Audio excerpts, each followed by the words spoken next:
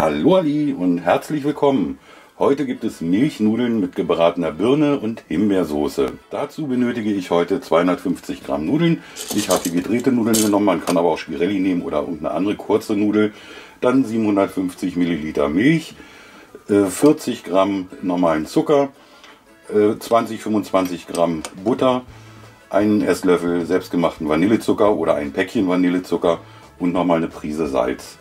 Dann brauche ich Birnen, drei Stück, zwei Stück, je nachdem wie groß sie sind, äh, ein Ei, die Panade. Die Panade besteht aus 100 Gramm Semmelbrösel und 100 Gramm gemahlener Haselnuss und etwa einen Esslöffel äh, Butterschmalz.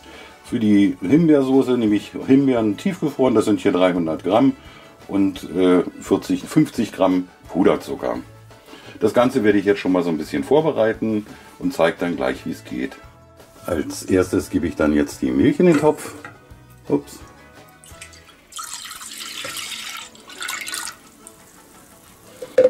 Und mache auch gleich den Zucker und den Vanillezucker und das Salz dazu. Ja, der Zucker gibt, wenn man den gleich am Anfang mit reinmacht, so eine kleine Schutzschicht am Boden. Das verhindert dann, dass die Milch gleich anbrennt. Ich nehme im Übrigen hier wieder meine Simmerplatte darunter. Damit vermeide ich halt, dass es schnell zu heiß wird und unten ansetzt. Ich warte jetzt, bis die Milch kocht und dann kommen die Nudeln dazu. Wenn die Milch denn heiß genug ist und so langsam aufsteigt, dann gebe ich hier die Nudeln dazu. Ich hatte vorhin übrigens vergessen, als ich den Zucker ran gemacht habe, kann natürlich dann auch immer gleich die Butter mit rein. Die ist jetzt hier drin. Man sieht, dass hier oben so eine kleine gelbe Fettschicht drauf ist. Ich rühre die jetzt einmal vorsichtig durch.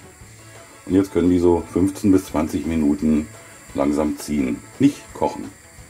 Während die Nudeln jetzt leicht simmern, werde ich die Himbeersoße schon mal vorbereiten. Dafür habe ich die gefrorenen und aufgetauten Himbeeren hier schon mal in mein kleines Gefäß gemacht von meinem kleinen Häcksler und gebe jetzt den Puderzucker dazu.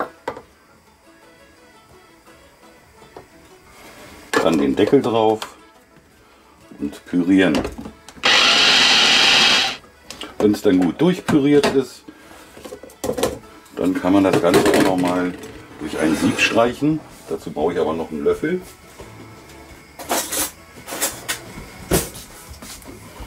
Erstmal das Messerchen hier raus. Und dann einfach ins Sieb geben. Und gut durchstreichen. Das Ganze so lange durchstreichen oder durchrühren, wie auch immer. Hauptsache kommt unten was raus, bis dann letztendlich hier nur noch so eine relativ feste Kernmasse übrig bleibt. Das lohnt sich. Bisschen zeitaufwendig, aber es lohnt sich wirklich. So, das ist jetzt erstmal genug.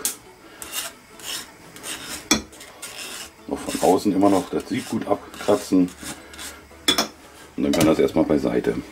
So, das Ganze stelle ich jetzt erstmal ein bisschen kühl. Ja, das ist eine wunderbare Soße, so soll sie aussehen. Mhm. Ich stelle das erstmal in den Kühlschrank und das wird es dann nachher zu den Birnen und Nudeln geben. Die Birne habe ich mir jetzt schon mal vorbereitet, so in fingerdicke Scheiben geschnitten. Habe in der Mitte so ein bisschen das Kerngehäuse abgeschnitten, vorher geschält und dann schön mit Zitrone eingeträufelt. Das verhindert so ein bisschen, dass die oxidieren oder so schnell oxidieren. Und zum anderen passt es auch wunderbar, dieser säuerliche Geschmack zu dieser Birne. Dann kommen Sie hier einmal ins Ei rein, schön mit Ei benetzen, soweit es geht. Und dann in die Semmelbrösel. Ja, das gut andrücken. Von beiden Seiten, auch außenrum so ein bisschen. Und dann kann das erstmal hier liegen bleiben. Und so geht es dann weiter. Und wenn dann alles schön paniert ist, dann geht es ab in die Pfanne. Das Butterschmalz ist jetzt schön heiß. Jetzt kommen die panierten Birnenscheiben da rein.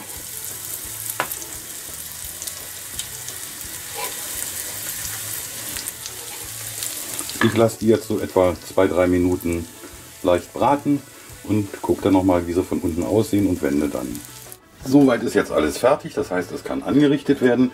Die Nudeln werde ich als erstes auf, drauf geben. Die haben also genau die richtige Konsistenz.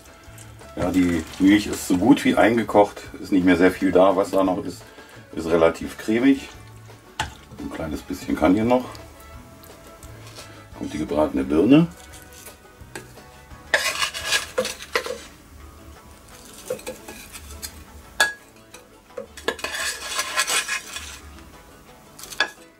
Und zum Schluss nochmal die Himbeersoße.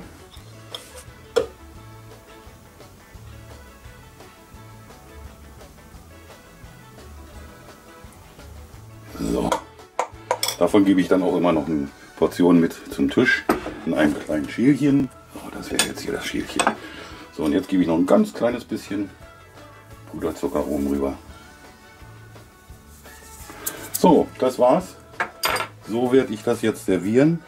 Ich denke, es wird wieder gut schmecken. Ich wünsche jedem viel Spaß beim eventuellen Nachmachen, einen guten Appetit und bis zum nächsten Mal. Tschüss!